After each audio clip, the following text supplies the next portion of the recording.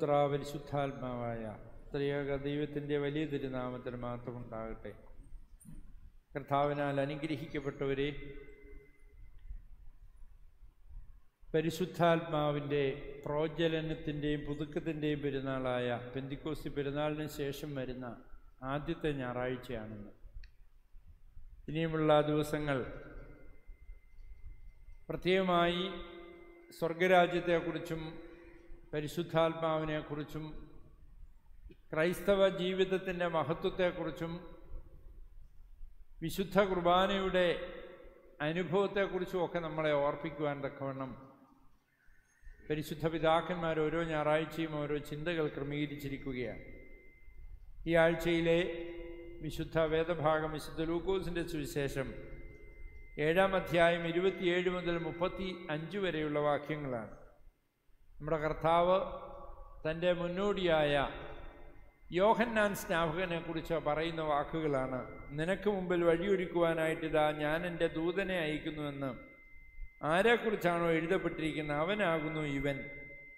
ഞാൻ നിങ്ങളോട് പറയുന്നു സ്ത്രീകളിൽ നിന്ന് ജനിച്ചവരിൽ യോഹന്നാൻ സ്നാപകനേക്കാൾ മഹാനായ ഒരു പ്രവാചകൻ ഉണ്ടായിട്ടില്ല. എന്നാൽ ദൈവരാജ്യത്തിലെ ചെറിയവനോ അവനേക്കാളും വലിയവനാകുന്നു. പ്രിയമുള്ളവരെ പഴയ നിയമത്തെക്കുറിച്ചും ന്യായപ്രമാണത്തെക്കുറിച്ചും സ്വർഗരാജ്യത്തെക്കുറിച്ചുമൊക്കെ കർത്താവ് വ്യക്തമായി പഠിപ്പിക്കുന്ന ഒരു വേദഭാഗമാണിത്.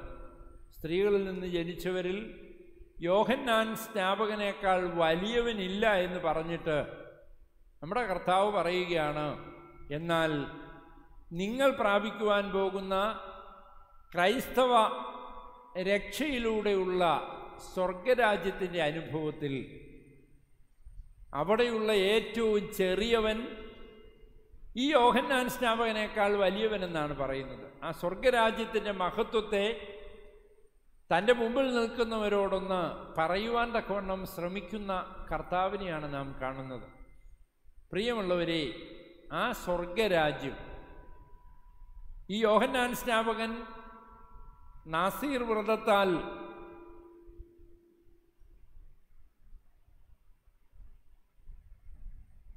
വലിയ വിശുദ്ധിയിൽ ജീവിച്ച വ്യക്തിയാണ്. അതുകൊണ്ട് തന്നെ ചുങ്കക്കാരും ഏഷ്യാസ്ത്രീകളുമെല്ലാം അവന്റെ മാമോദീസ സ്വീകരിക്കാൻ തയ്യാറായി. എന്നാൽ പരീശന്മാരും സാധുക്യരും ആ മാമോദീസ സ്വീകരിക്കാൻ തയ്യാറാകാതെ ആ മഹത്വത്തെ കാണാതെ മാനസാന്തരപ്പെടാതെ തങ്ങൾ വന്ന വഴിയെ പോകുന്ന ഇതൊക്കെ മാറ്റി കൂടുതലൊന്നും വേണ്ട എന്ന് ചിന്തിക്കുന്ന ആത്മീയ അനുഭവത്തിൽ തങ്ങളായിരിക്കുന്ന അനുഭവത്തിൽ കൂടുതലൊന്നും വേണ്ട. അത് തങ്ങളുടെ സ്വാതന്ത്ര്യത്തെയും അതുപോലെയുള്ള മാനുഷികമായ അനുഭവങ്ങളെ തകർക്കുമെന്ന് മനസ്സിലാക്കി മാനസാന്തരപ്പെടാതിരിക്കുന്ന പരീശന്മാരുടെയും സാധുക്യരുടെയും അനുഭവം കൂടിയാണ് നമ്മുടെ കർത്താവ് ഇവിടെ ഓർപ്പിക്കുന്നത്. അതുകൊണ്ട് കർത്താവ് സ്വർഗരാജ്യത്തെക്കുറിച്ച് പറയുമ്പോൾ അതിന്റെ മഹത്വത്തെക്കുറിച്ചാണ് പറയുന്നത്. പ്രിയമുള്ളവരെ ഞാനും നിങ്ങളും മനസ്സിലാക്കേണ്ട ഒരു കാര്യം. പരിശുദ്ധ മാമോദീസായിൽ കൂടെ ദൈവത്തിന്റെ പുത്രനും പുത്രിയുമായി നാം മാറിയിരിക്കുകയാണ്. മനുഷ്യന്റെ പുത്രനും പുത്രിയുമായിരുന്നവർ ദൈവത്തിന്റെ പുത്രനും പുത്രിയുമായി മാറിയിരിക്കുകയാണ്. അതോടൊപ്പം സ്വർഗരാജ്യത്തിൽ ജീവന്റെ പുസ്തകത്തിൽ ഈ പൈതലിന്റെ നാമം എഴുതണമേ എന്ന് പ്രാർത്ഥിച്ചുകൊണ്ടാണ് മാമോദിസ രജിസ്റ്ററിൽ അച്ഛൻ പേരെഴുതുന്നത്. ആ സമയത്ത് വിശ്വസിക്കപ്പെടുന്നത് സ്വർഗരാജ്യത്തിൽ ഇവന്റെ പേരെഴുതപ്പെട്ടു എന്ന് പറഞ്ഞാൽ ഇവൻ ഇനിയും സ്വർഗരാജ്യമുണ്ട്. നിത്യജീവന്റെ അനുഭവമുണ്ട്. കർത്താവിനോടും പിതാവാം ദൈവത്തോടും പരിശുദ്ധ റൂഹായോടും വിശുദ്ധന്മാരോടും ഒരുമിച്ചുള്ള ആ സ്വർഗരാജ്യത്തിന്റെ അനുഭവത്തിൽ നിത്യതയിൽ നിലനിൽക്കുമെന്നാണ് ആ മാമോദീസായുടെ അനുഭവത്തിൽ നമ്മെ ഓർമ്മിപ്പിക്കുന്നത്. ഞാനിത് പറഞ്ഞത് എന്റെ നിങ്ങളുടെയും അറ്റാച്ച്മെന്റ് ആ സ്വർഗരാജ്യത്തോടാണോ അതോ വെറും നശ്വരമായ ഒന്നുമില്ലായ്മയായ ഈ ലോകത്തോടാണോ എന്ന് ചിന്തിക്കേണ്ട ഒരു അനുഭവമാണ്. മരിച്ചിട്ട് അല്പസമയം കഴിഞ്ഞ് തിരിച്ചു വന്നവരൊക്കെ പറഞ്ഞ ഒരു സെന്റൻസ് ഉണ്ട്. എന്തിനാ എന്നെ തിരിച്ചു വിളിച്ചത്? ഞാൻ വലിയൊരു പ്രകാശ ലോകത്തായിരുന്നല്ലോ തിരിച്ചു വന്നപ്പോൾ വീണ്ടും ഈ അധമ ലോകത്തിലേക്ക് നിങ്ങൾ എന്തിനെന്നെ തിരിച്ചു വിളിച്ചു എന്നാണ് ചോദിച്ചിട്ടുള്ളത് എന്ന് പല വ്യക്തികളുടെയും അനുഭവത്തിൽ നിന്ന് പറഞ്ഞു കേട്ടിട്ടുണ്ട്. പ്രിയമുള്ളവരെ ഞാനും നിങ്ങളും സ്വർഗരാജ്യ അവകാശികളാണ് ആ സ്വർഗരാജ്യത്തിന്റെ മഹത്വം ദർശിക്കാതെ ഈ ലോകവുമായിട്ട് ബന്ധപ്പെട്ട് ഈ ലോകത്തിന്റെ പല കാര്യങ്ങളിലും സന്തോഷം കണ്ടെത്താൻ ഞാൻ നിങ്ങൾ ഇന്ന് വ്യഗ്രത കൊള്ളുകയാണ്. അതുകൊണ്ടാണ് പള്ളിയിൽ താമസിച്ചു വരികയും ഇന്ന് കുർബാന തുടങ്ങിയപ്പോൾ പതിനഞ്ച് പേര് കൂടുതൽ ഇവിടെ ഇല്ലായിരുന്നു.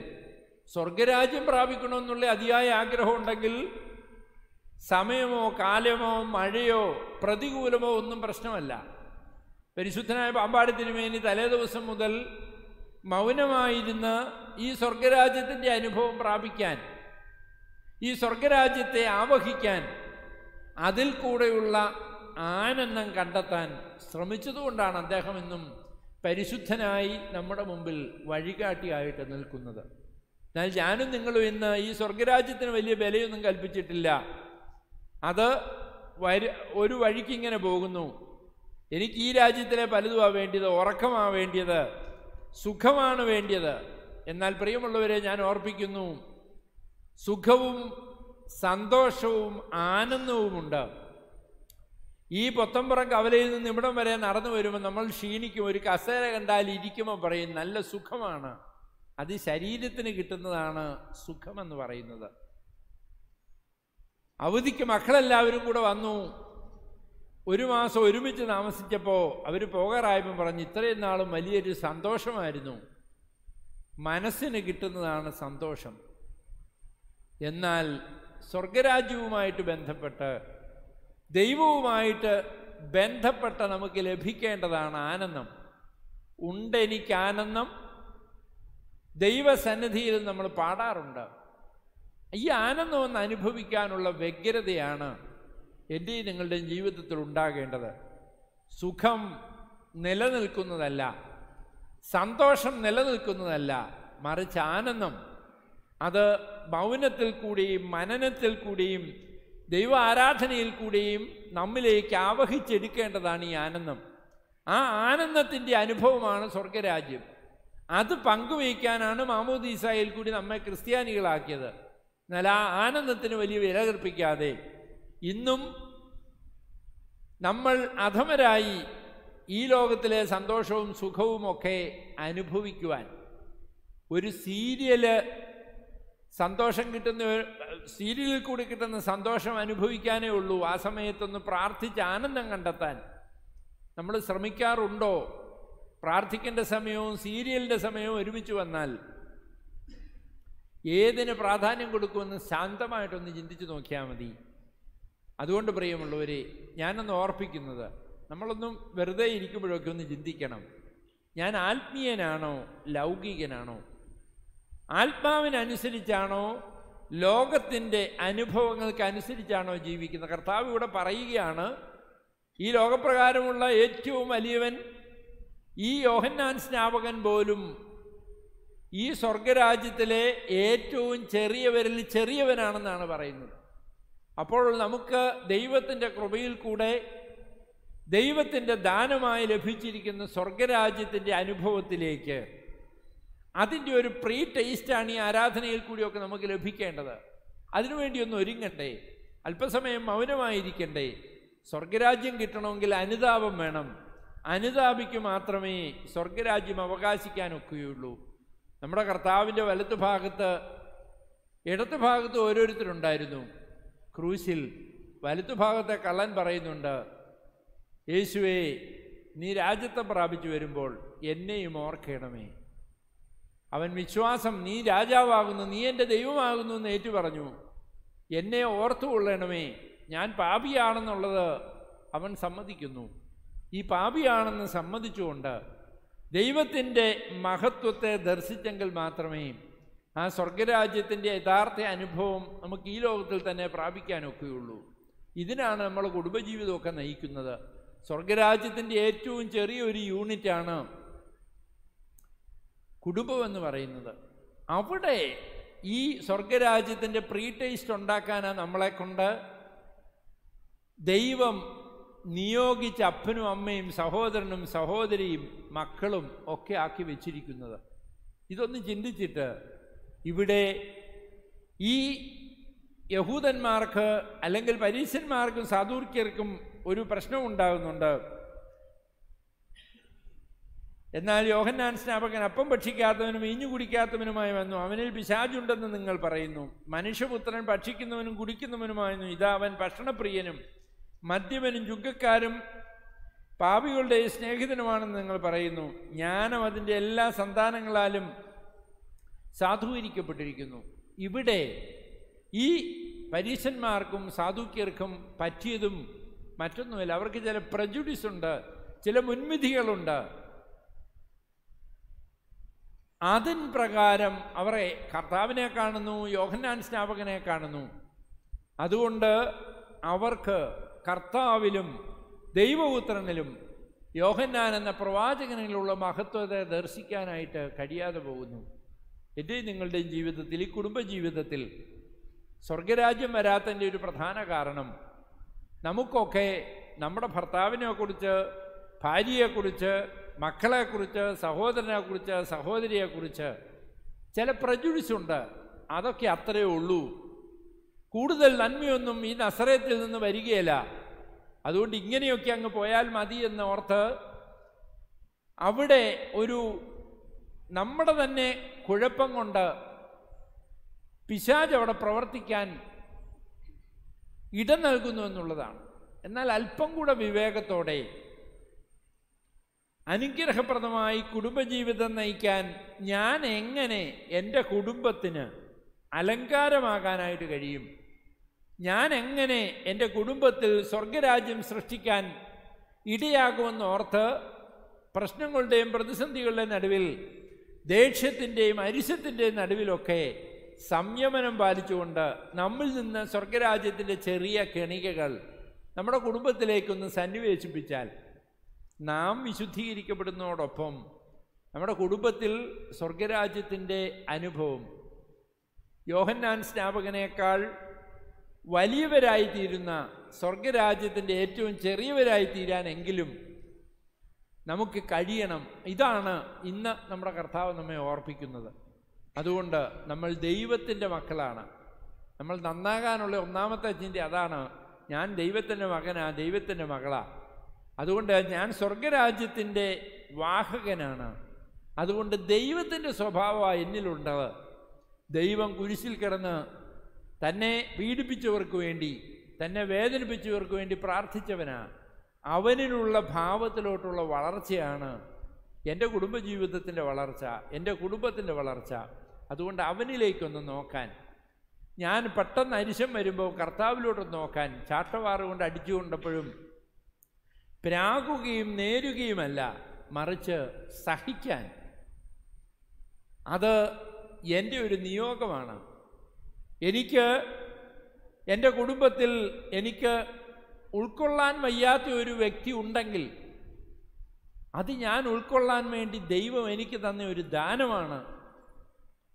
അല്ലാതെ ഞാൻ അതിനെ പഴി പറഞ്ഞ് പ്രാഗിയും നേർന്നും ജീവിക്കുവാനല്ല. ഇതെന്റെ ഒരു കുരിശാണ്. ആ കുരിശിനെ ഞാൻ വഹിക്കണം.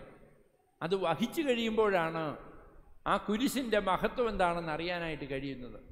പ്രിയമുള്ളവരെ ഞാനിത് ശാന്തമായി ഒന്ന് ചിന്തിക്കാനാണ് പറഞ്ഞത്. നിങ്ങളിന്ന് പ്രയാസപ്പെടുന്ന പല കാര്യങ്ങളും ഉണ്ട്. പലരെയും കുറ്റം പറഞ്ഞ് സഭയെ കുറ്റം പറയുന്നുണ്ട് ബാബാതിരുമേനി മുതൽ എല്ലാവരെയും കുറ്റം പറഞ്ഞ് അവരെയൊക്കെ നന്നാക്കാനാണ് നമ്മൾ ശ്രമിക്കുന്നത്. എന്നാൽ ഞാനാണ് ഇതിനെല്ലാം കാരണം. സഭയുടെ പ്രശ്നത്തിനും കുടുംബത്തിന്റെ പ്രശ്നത്തിനും എന്റെ പ്രശ്നത്തിനും എല്ലാം ഞാനാണ് കാരണം. മാറ്റം വരുത്തേണ്ടത് ഞാനാണ്. ഞാനാണ് സ്വർഗരാജ്യം സൃഷ്ടിക്കേണ്ടവൻ. ബാബാതിരുമേനിയോ മെത്രാന്മാരോ അച്ഛന്മാരോ അല്ല. എന്നിൽ സ്വർഗരാജ്യം ഉണ്ടാകുമ്പോൾ ആ സ്വർഗരാജ്യം ഇന്നലെ വൈകിട്ടത്തെ വേദഭാഗത്തിന് പറയുന്നുണ്ട് ഇതിങ്ങനെ പുളിപ്പ് കയറി പോകുന്ന പോലെ എന്നിലുള്ള സ്വർഗരാജ്യത്തിന്റെ അനുഭവം വിശുദ്ധിയുടെ അനുഭവം ഈ സ്വർഗരാജ്യത്തിന്റെ പ്രീ ടേസ്റ്റിന്റെ അനുഭവം അതിങ്ങനെ വളർന്ന് വളർന്ന് ആ മാവിനെ മുഴുവൻ പുളിപ്പിക്കുന്ന പുളിപ്പായിത്തീരുന്നത് പോലെ ആയിത്തീരും. അതുകൊണ്ട് ശാന്തമായിട്ട് നമ്മളൊന്ന് നന്നാകാൻ ശ്രമിക്കുക. നമ്മൾ സ്വർഗരാജ്യം സൃഷ്ടിക്കാൻ ശ്രമിക്കുക. ഏത് പ്രതിസന്ധിയെയും സംയമനത്തോടെയും വിവേകത്തോടെയും ദൈവാശ്രയത്തോടെയും കാണാനായിട്ട് ശ്രമിക്കുക. ഈ വിവേകമില്ലാത്ത അനുഭവമല്ലേ പലപ്പോഴും കുടുംബത്തിൽ പ്രശ്നങ്ങൾ സൃഷ്ടിക്കുന്നതെന്നും വിവേകമില്ലാത്ത സുന്ദരി പന്നിയുടെ മൂക്കിൽ പൊൻമൂക്കുത്തി പോലെയാണെന്ന് ഒരു വേദവാക്യമുണ്ട്. അതുപോലെ പലപ്പോഴും നമ്മുടെ പ്രവർത്തനം നമുക്കെല്ലാം മഹത്വവുമുണ്ട്. പക്ഷെങ്കിൽ അതിനെ കൂട്ടിയണക്കുന്ന വിവേകത്തിന്റെ കണികകൾ നമ്മളില്ലാതെ പോകുന്നതുകൊണ്ട് നമ്മുടെ മഹത്വം നമ്മൾ തന്നെ ഇല്ലാതാക്കി തീർക്കുന്നു. അതുകൊണ്ട് അല്പം വിവേകത്തോടെ ഞാൻ ആരാണെന്നൊന്ന് ചിന്തിക്കുക. ഞാൻ സ്വർഗരാജ്യത്തിന്റെ അവകാശിയാണ്. ഞാൻ ദൈവത്തിന്റെ മകനാണ്. അതുകൊണ്ട് ദൈവത്തിലുള്ള സ്വഭാവം എന്റെ അപ്പന്റെ സ്വഭാവം എന്റെ അമ്മയുടെ സ്വഭാവമാണ് എന്നിൽ ഉണ്ടാകേണ്ടത്. അല്ലാതെ പിശാജിന്റെ സ്വഭാവമല്ല. എന്റെ അപ്പന്റെ അല്ല എന്റെ ദൈവത്തിന്റെ സ്വഭാവം. അത് ക്ഷമയുടേതാണ് സ്നേഹത്തിന്റേതാണ് സന്തോഷത്തിന്റേതാണ് ആനന്ദത്തിന്റേതാണ് ദീർഘക്ഷമയുടേതാണ്. ഇങ്ങനെ പല ആത്മീയ അനുഭവങ്ങളുമുണ്ട്. പരിശുദ്ധാത്മാവിന്റെ പുതുക്കത്തിന്റെ അനുഭവത്തിലേക്ക് വരാൻ സ്വയസിദ്ധമായി നമ്മിലുള്ള പരിശുദ്ധാത്മാവിന്റെ ആത്മഫലങ്ങളിലേക്കൊന്ന് നോക്കുവാൻ.